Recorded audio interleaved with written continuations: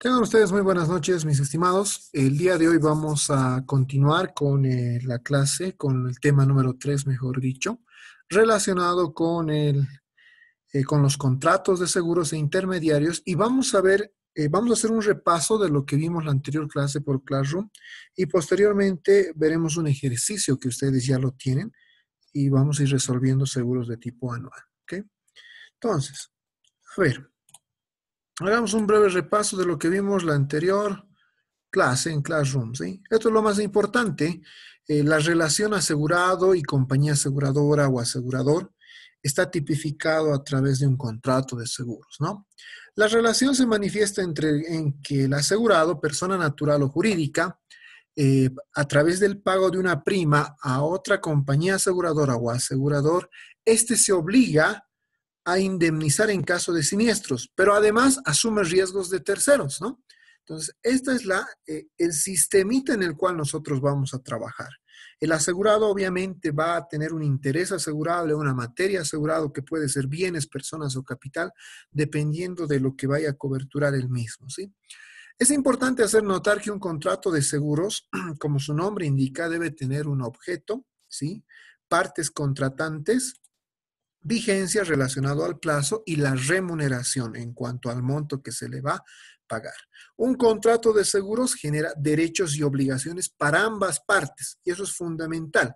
Y se va a dar el consentimiento de partes en el contrato de seguros a través de la firma que se va a estampar en el contrato de seguros. Es muy importante lo de la firma. Ustedes bien saben que una firma es una declaración jurada desde el punto de vista legal, ¿no?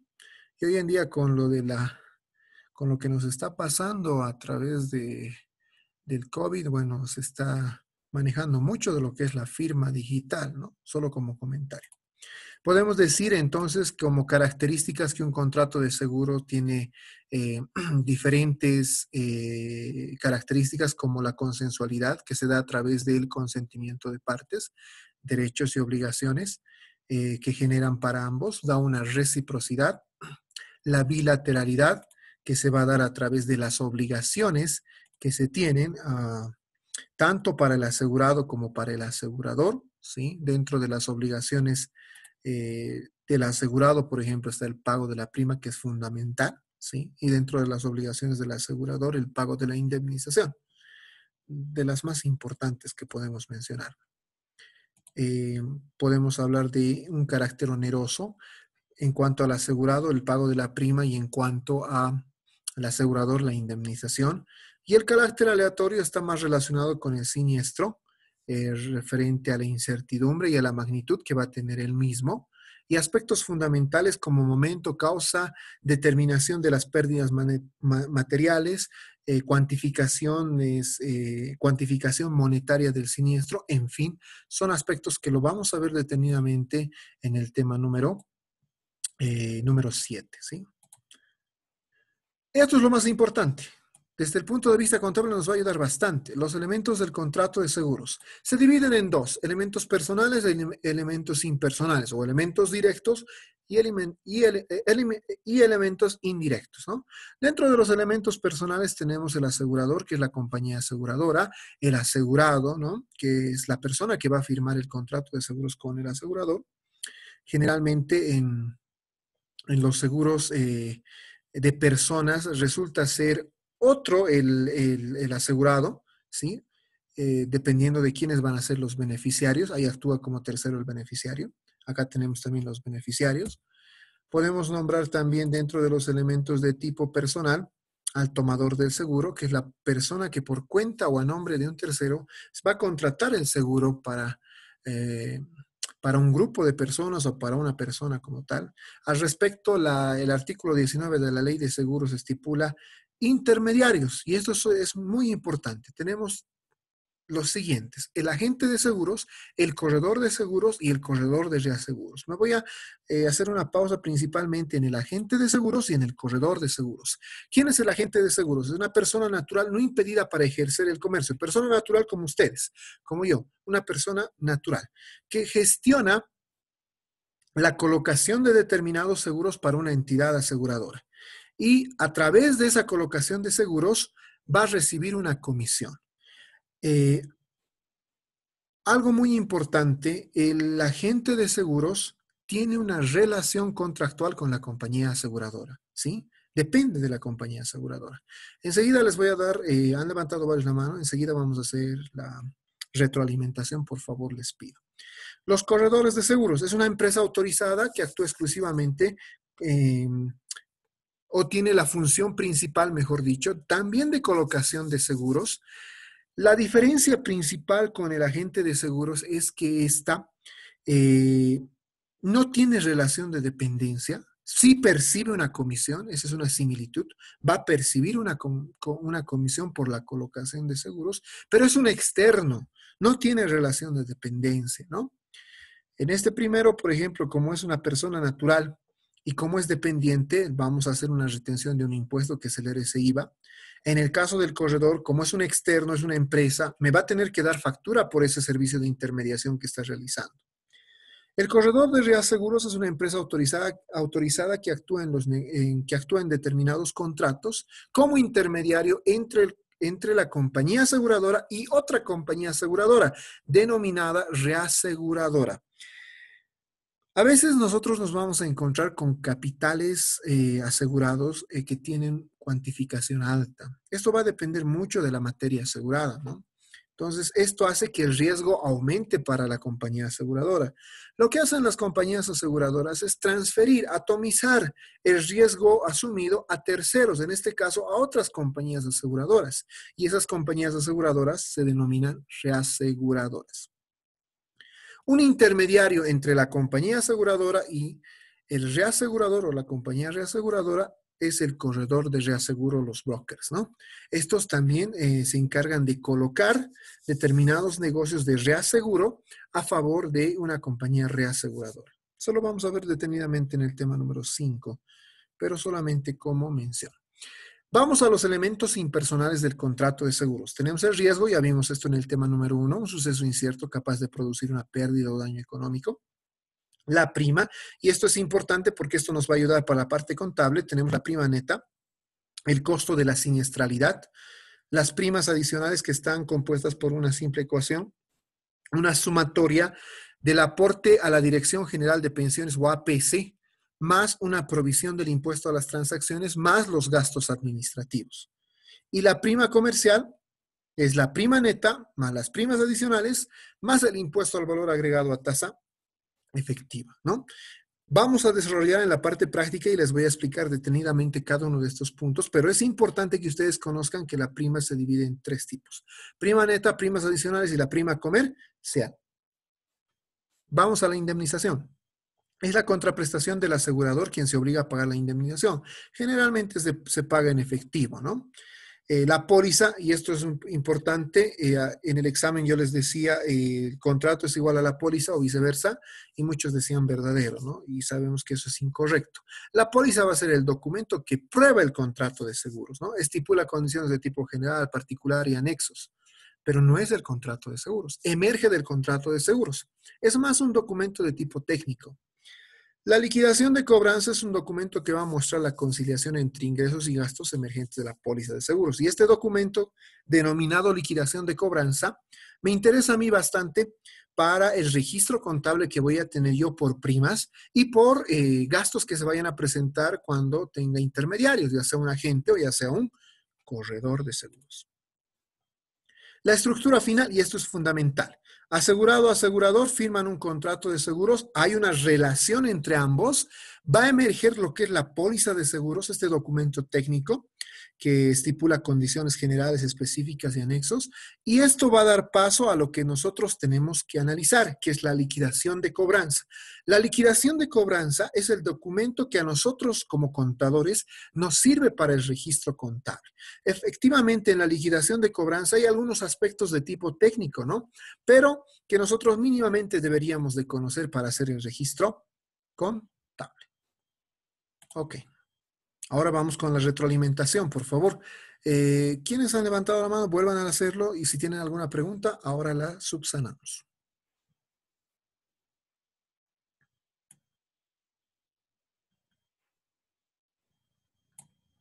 ¿No hay ninguna pregunta?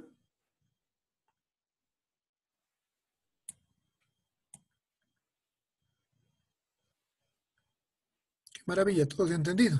Pero hace un momento había preguntas. ¿No hay preguntas, jóvenes? Ninguna. Muy bien, entonces continuemos, por favor. Vamos a la parte práctica ahora, ¿sí? Eh, les dejé un ejercicio.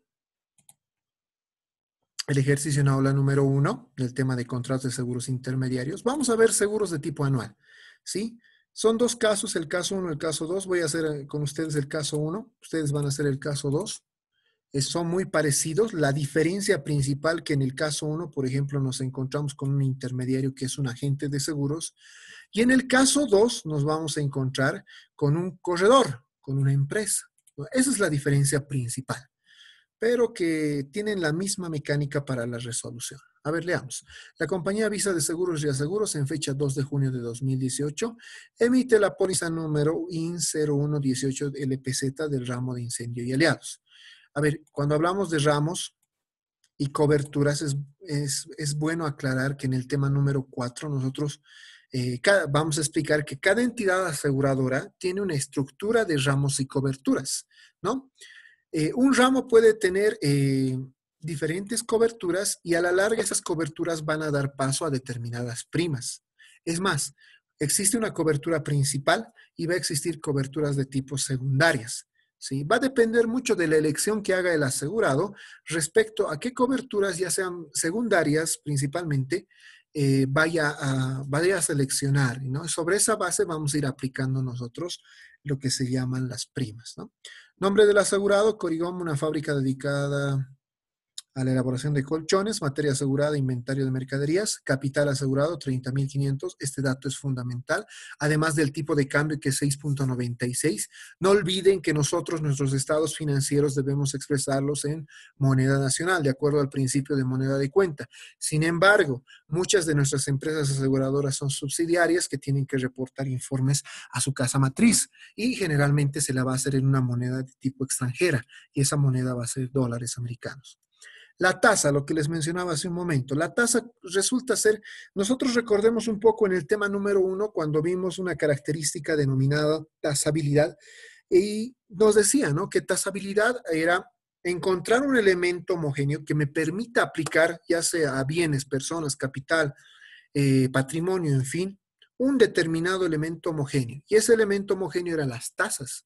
La aplicación de tasas involucra estudios de tipo técnico en las entidades aseguradoras, pero que se van a aplicar por determinada materia asegurada. Y una vez que apliquemos las tasas versus el capital asegurado de determinadas materias aseguradas, nosotros vamos a tener lo que se llama la prima. ¿sí? La tasa es fundamental, jóvenes.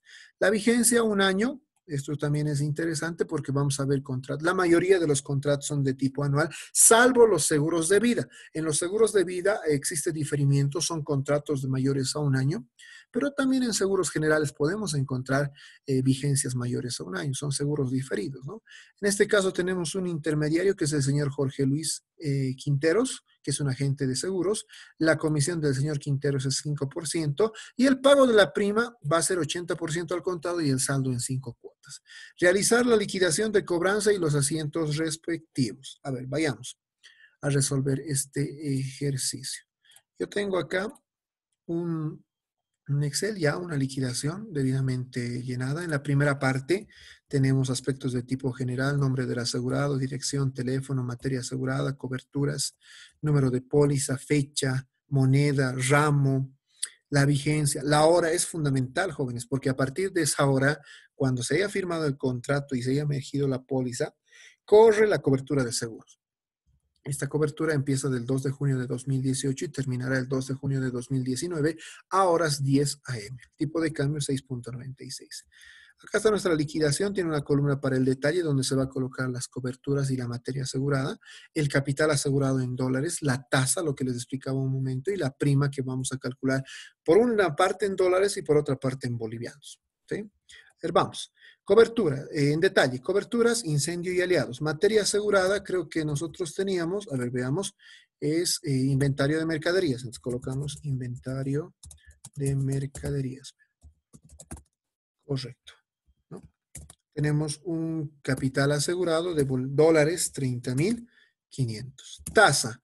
La tasa es 1.5 por ciento. ¿Sí? Y me hago, hago una pausa acá. Vamos a operaciones auxiliares. Tasa. ¿Qué es una tasa? Lo que les decía, ¿no? Esta se tipifica por cada entidad aseguradora, constituye el costo de la siniestralidad y debe aplicarse por materia asegurada. En seguros existen dos tipos de tasa. Una tasa es una tasa por 100 eh, que tiene esta simbología y el valor o la fórmula para la obtención de un valor absoluto de una tasa por 100 tiene la siguiente connotación. X dividido entre un valor 100. Por ejemplo, yo tengo un valor relativo, 2.5% o 2.50%. ¿Cómo se obtendrá el valor absoluto de esa tasa? Sencillo, ¿no ven? 2.5 dividido entre 100. Y ahí obtenemos el valor absoluto de esa tasa, que será 0.025. También tenemos tasas por mil y esta es la simbología. Es muy parecido a una tasa por 100, solo que tiene un cerito adicional más en el denominador, se denomina tasa por mil. El valor para la obtención de un valor absoluto, la fórmula es X dividido entre mil, ya no entre 100 como la tasa por 100, en este caso es entre mil. Por ejemplo, si yo tengo un valor relativo 2.5 por mil, vamos a tener esta connotación. Si yo quiero obtener el valor absoluto de esa tasa, ¿qué es lo que hago? 2.5 dividido entre mil. Esa es la diferencia entre una tasa por 100 y una tasa por 1000. La primera se divide entre 100 y la segunda se divide entre 1000. Mucho cuidado para esta parte, jóvenes. Cuando nosotros vayamos, a, volvamos a la liquidación, cuando nosotros hagamos las liquidaciones y como nos dice, las tasas se aplican por materia asegurada, vamos a encontrarnos con diferente materia asegurada en, un en una determinada cobertura. Y esa materia asegurada va a tener distintas tasas. Si nosotros aplicamos mal la tasa, la liquidación y el cálculo de la prima y de las demás primas va a ser erróneo. hay que tener mucho cuidado en esta parte. Entonces, ¿cómo obtenemos la prima? Les decíamos, ¿no? Capital asegurado por la tasa, en este caso 1.5% a ver, hagamos eso. 1.5 dividido entre 100, ¿correcto? Por el capital asegurado. Y eso me da 457.50. ¿Sí? ¿Cómo hago en boliviano? Sencillo, ¿no? Agarro los 400.57 y multiplico por el tipo de cambio, que es 6.96. Y tengo eh, 3.184.20. Entonces, mucho cuidado, jóvenes, con la tasa. Es la primera recomendación que les voy a dar. No tenemos más materia asegurada, no hay más materia asegurada, entonces sumamos y vamos a obtener lo que se llama prima neta anual, ¿no? Si tuviéramos más materia, entonces vamos calculando y obtenemos lo que es la prima anual. A esta prima anual le vamos a sumar más las primas adicionales. Y dijimos que las primas adicionales se dividen en tres. Gastos administrativos, 3%, provisión 3,75 y aporte a la APS 2%. Expliquemos ahora de dónde emergen estos montos. Vayamos con la primera prima adicional, el aporte a la APS, en realidad a la Dirección General de Pensiones que depende de la APS. La ley de seguros estipula en el caso que nosotros nos encontremos con un contrato de tipo o de modalidad de seguro general, le vamos a aplicar el 2% sobre la prima neta, ¿sí? Cuando nos encontremos con un seguro de tipo general. Y si nosotros nos encontramos con un contrato y una modalidad de seguro de persona, generalmente seguros de vida, le vamos a aplicar el 1 por esto está estipulado principalmente en la ley 1883, ¿no? Entonces, eso es muy importante. Inicialmente vamos a ir trabajando con este tipo de, eh, de seguros generales, ¿sí? Donde vamos a ir aplicando el 2%. Gastos administrativos. ¿Qué son los gastos administrativos? Los gastos administrativos resultan ser el costo de papeleo, tinta, el costo administrativo. Y estos costos más o menos fluctúan entre el 2 y el 4%. ¿Qué es lo que hace? Se le cobra esos costos administrativos dentro de las primas adicionales al asegurado. Nosotros vamos a manejar un promedio inicialmente, porque esto hay que calcularlo detenidamente, se calcula. Pero vamos a iniciar con un promedio del 3%. ¿Qué quiere decir eso? Que vamos a utilizar siempre el 3% para el cálculo de los gastos administrativos. Volvamos a la liquidación, ¿no? Y por último, este 3.75% que es la provisión del impuesto a las transacciones. Todos saben que el, el IT, por ejemplo, tiene una tasa nominal del 3%, ¿correcto?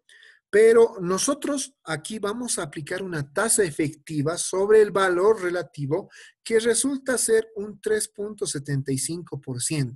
Quiere decir que siempre vamos a aplicar ese 3.75% para provisionar, para reservar un monto del impuesto a las transacciones que también le vamos a cobrar a nuestro asegurado.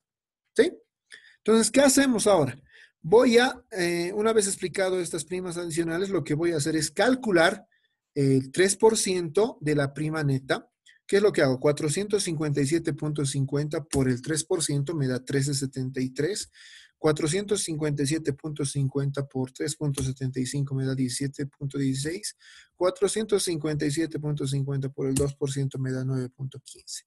Total primas adicionales en dólares asciende a 40.03. Recomendación. Segunda, Vamos a calcular, una vez que obtengamos las primas netas o la prima neta, el cálculo de las demás primas o lo que continúa para abajo se hace por columna. Es decir, en este momento yo hice en dólares. Ahora voy a hacerlo en bolivianos. ¿Qué es lo que hacen algunos? Agarran este valor y lo multiplican por 6.96, que no está mal. Sin embargo, desde el punto de vista financiero, contable, llamémosle así, hay una incidencia al final hay una variación en centavos que hace que nuestro asiento no cuadre eh, en plenitud. Por eso las recomendaciones que yo les doy es que agarren la prima neta y vayan calculando el 3% en este caso para los gastos administrativos. 3.184 por 3.75 para la provisión IT. 3.184 por el 2% para el aporte a la DGP. Y listo. ¿no? Por columnas, por columnas. Luego tenemos el costo de producción del servicio. El costo de producción del servicio es una sumatoria de la prima neta más el total de primas adicionales, ¿no? Es decir, 457.50 más 40.003 me va a dar 497.53. Y de la misma manera en en, bolivianos, 3.184.20 más 278.62 me va a dar 3.462.82. Correcto. Si en, costos, por ejemplo, ¿no? si hacemos analogía en costos, eh, el costo de producción es materia prima más mano de obra más gastos indirectos. En seguros, el costo de producción es prima neta más primas adicionales o más el total de las primas adicionales. Impuesto al valor agregado. Tenemos que trabajar, eh, ustedes bien saben que el impuesto al valor agregado tiene una tasa nominal del 13%, pero yo necesito acá la tasa efectiva, aplicar la tasa efectiva para calcular un impuesto por afuera. ¿Cómo hacemos eso? Sencillo, para obtener el impuesto, la tasa eh, de la tasa efectiva del impuesto al valor agregado, lo que yo hago es agarrar ese 13%, y lo voy a dividir entre el neto al 100%, que sería 87. Si yo sumo 13 más 87 me va a dar igual a 100. Pero si hago esta operación, 13 dividido entre 87, me da 0.1494, 25, 29, bueno, todos sus decimales, ¿no? Entonces, acá lo que voy a hacer, aquí ya tengo calculada esa tasa, es calcular sobre el costo de producción del servicio el 14.94, 25, 28 y todos sus decimales. 497 por el 14.94 con todos sus decimales y me da 74.34 en dólares. En bolivianos, de la misma manera, ¿no? 3.462.82 por el 14.94 y todos sus decimales, 517.43. ¿sí? Estoy aplicando tasa efectiva, jóvenes, tasa efectiva. Y la tasa efectiva se calcula de esa manera. Por último, la prima comercial va a ser una sumatoria del costo de producción más el impuesto al valor agregado con tasa efectiva con todos sus decimales. Y eso me da 571.88. En bolivianos, 3.462.82 más 517.43 me da 3.980.25. ¿Sí? Eh, recomendación, tercera recomendación en el IVA, trabajen con todos los decimales, por favor. ¿sí? Hay una pruebita para ver si hemos hecho bien. A ver, la prueba es una formulita. Nos dice prima neta por 1.25 igual a prima A ver, hagamos la prueba. Hagamos en dólares. Prima neta, ¿cuánto es la prima neta en dólares? Está acá, ¿no? 457.50 por 1.25 me da 571.88. ¿Qué cuadra? ¿Qué cuadra con mi prima comercial en dólares que yo he calculado? Hagamos la prueba ahora en bolivianos. Prima neta en bolivianos es 3.184.20 por 1.25 me da 3.980.25, que es la misma que yo he calculado en la liquidación de cobranza. ¿Ok? hemos hecho un... Eh, hemos hecho una estructura correcta con esta prueba. Verifica que se ha realizado de manera correcta, ¿sí? Muy bien. ¿Alguna pregunta? Bueno, hasta acá es la primera parte de la liquidación de cobranza. Hay que tener mucho cuidado, repito, en las recomendaciones que les he dado, la tasa, los porcentajes por columna, el IVA con todos los decimales. Y una pruebita más, fíjense, a ver, nos decía, eh, ¿por qué utilizamos tasa efectiva? La prima comercial resulta ser lo que nos va a pagar el asegurado, ¿sí? En este caso, 571.88 y 3.980. A ver, ahora sí aplicaremos el IVA, pero con tasa nominal. Es decir, de los ingresos que es 3.980.25, yo le calcularé cuánto es la tasa nominal del IVA, 0.13 o 13%, ¿no? Fíjense, ¿cuánto me da? 517.43. ¿Es la misma tasa o, perdón, ¿es el, ¿es el mismo valor que el IVA? Sí, es el mismo valor, solo que yo he calculado el IVA por fuera con la tasa, eh, con la tasa efectiva. Y ya cuando haga el asiento lo voy a hacer por dentro. Ok. Hasta aquí, a ver, vamos a hacer la retroalimentación. Si alguien tiene alguna pregunta, alguna duda, pueden levantar la mano y vamos a ir subsanando eh, sus dudas, mis estimados.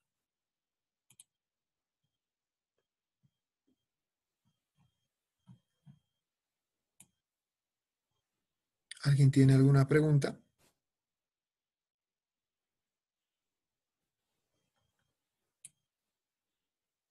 ¿Se ha entendido entonces todo?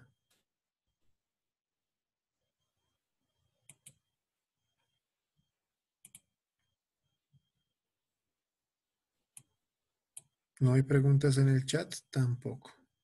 Qué maravilla, ¿no? Este curso me sorprende, no hay ninguna duda. Muy bien. Acá está. Reynold. A ver. Augusto, Reynolds, Augusto. Eh, ¿Cuál es tu pregunta? buenas noches. Este, Mi consulta es que podrías repetirme eso de las primas adicionales. No sé si le he captado un poquito bien, pero para reforzar quisiera estar un poquito más seguro. solamente de las primas adicionales, por favor. Claro, con todo gusto, Reynolds. Deja tu audio encendido. Ya vamos a ir contigo. Eh, vamos a compartir pantalla.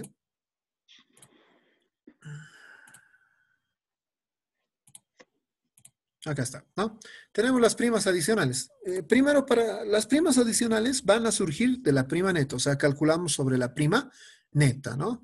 En el caso de las primas adicionales están compuestas por los gastos administrativos, que ya dijimos que es 3%, es el, es el papeleo, papelería, tinta, impresiones, en fin, todo eso va a formar parte de los gastos administrativos, que siempre vamos a utilizar 3% inicialmente.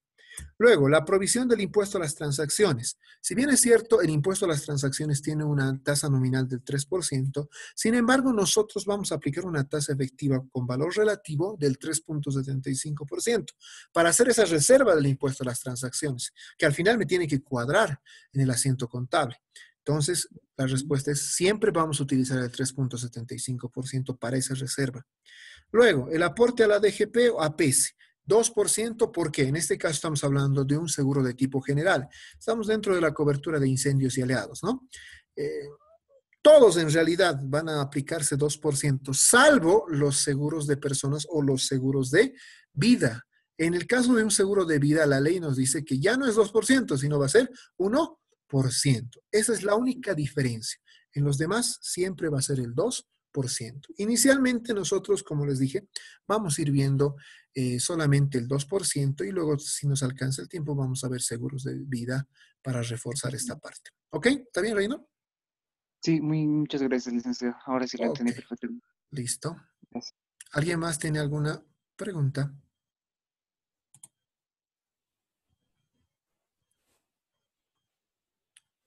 Catherine. Vamos, Catherine, dígame.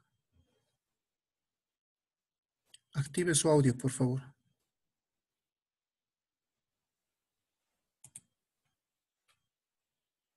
Ahora sí se escucha, Lice. Sí, por favor.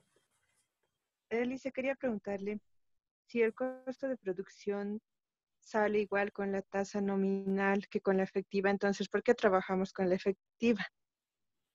A ver, déjame con audio. Vamos a compartir pantalla contigo, ¿ya? Ya. Ahora sí. El costo de producción, eh, Catherine, por si acaso, es una sumatoria de la prima neta más el total primas adicionales, ¿no? Eh, no, no veo tasas nominales por el momento, ¿no? No hay ah, tasas nominales. Es una sumatoria, repito, de la prima neta de estos 400.50 dólares más el total primas adicionales, 40.03. Ese es el costo de producción de servicio. Ahora bien, ¿dónde se aplica lo que es el IVA? En el IVA, tal vez está tu pregunta. Nosotros al costo de producción le vamos a aplicar la tasa efectiva del impuesto al valor agregado. Es decir, le vamos a aplicar un impuesto por fuera con esa tasa efectiva. En este caso es 14.94 con todos los decimales. Dijimos que es 13 dividido entre 87, ¿correcto? Y nos va a dar esa tasa efectiva con todos los decimales. Yo aplico esa a ver, hagamos 13 dividido entre 87 por el costo de producción y mi IVA me da 74.34. Lo mismo en bolivianos, 13 dividido entre 87 por el costo de producción me va a dar 517.43, ¿no? Y al final la prima comercial va a ser la sumatoria de costo de producción más impuesto al valor agregado a tasa efectiva en este caso me da 571 y acá 3.980. ¿Dónde aplicamos la tasa nominal, mi estimada eh, Catherine? Cuando vamos a hacer el asiento contable, porque no olvides que son ingresos. Cuando hagamos un ingreso tenemos que facturar, ¿no ven? Va a haber una factura. Y tengo que calcularle el 13% de ese ingreso, ¿correcto? Entonces, ¿cómo, ¿cómo voy a hacer yo? Contablemente voy a agarrar este ingreso total y le voy a facturar, ¿no ve? Que es el 13%, ¿sí o no? Si yo calculo eso, ¿cuánto me da? 517.43. Entonces ya tengo calculado el, impuesto desde el punto de vista ya contable, inclusive con la tasa efectiva acá. Acá me ayuda la tasa efectiva, porque si yo hubiera aplicado un 13% acá, Catherine, no me hubiera dado nunca el valor del IVA y ni el, de la prima comercial. Por eso es que se aplica tasa efectiva. ¿Ok? Ah, ya, ya, ya lo entendí. Muy bien, Catherine. Gracias. Ok. ¿Alguien más?